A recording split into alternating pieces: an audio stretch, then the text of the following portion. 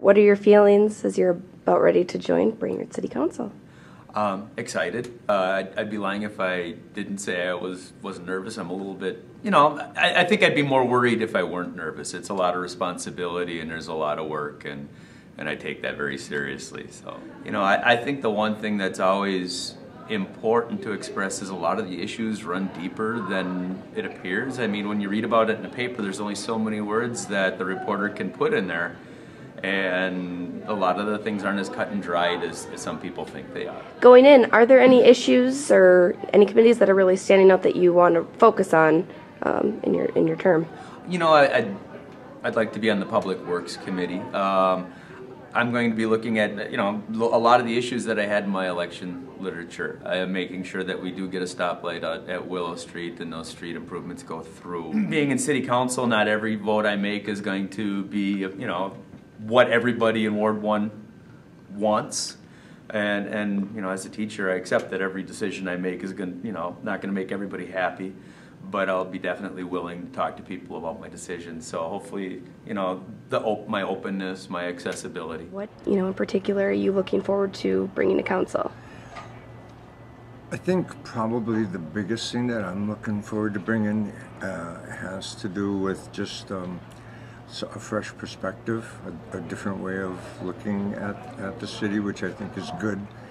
I'm going to be spending a fair amount of time having what I'm going to be calling community conversations, where once a month we have a get together of anyone who's interested to show up and have discussions about how to make Brainerd a better city. And it comes down to this community conversation about where's our priorities and where's our, what do we hope and dream this city can be, and then work towards making it. If everybody comes together and puts their energies towards that, we can eventually get there.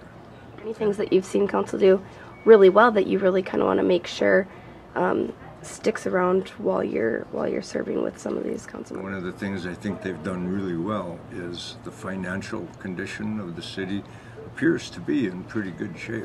Mm-hmm. Um, my business background, I think, is going to help a lot, and particularly the business that I've been in, which is uh, marketing and promotions and communication. I'm excited though because I think that this is. Um, Speaking of democracy, this is the grassroots level of, uh, of democracy. This is kind of where it all starts, where the people's voice um, needs to be heard. How are you feeling? It's it's coming up here. You're going to be officially part of uh, Brainerd City Council. What are your thoughts going into it?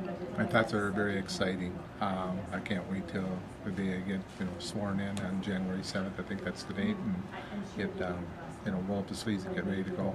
We got a great new council coming together with uh, Dave and Chip and I as the new members and the existing councils that are looking forward to us. And one of the issues I do see right now is we do need a city administrator. Uh, you know, you take a city that's been had a leader like Dan Vogt for many, many, many years, and then you remove that leader, and I, I see the city being a little bit lost without a leader. Um, the city administrator is like a good quarterback, as everybody just knows what happened with the Vikings. Um, if you got a good, um, you know, leader in the city or a good city administrator, you know, that will, you know, bounce our city forward. Why did the citizens of Brainerd make the right choice in electing you? Um, basically, uh, it's the energy I have, the energy I bring, and the commitment and the passion I have. You, know. you with uh, Chip and, and Dave coming in, how do you think that's going to really kind of change the dynamic, if at all, of the way the council currently is being run right now? Um, yeah, first of all, new is always kind of it's a breath of fresh air, and I feel that. Um, Chip has got some great ideas uh, in a whole different direction than you know the current council, and so does Dave, and so do I.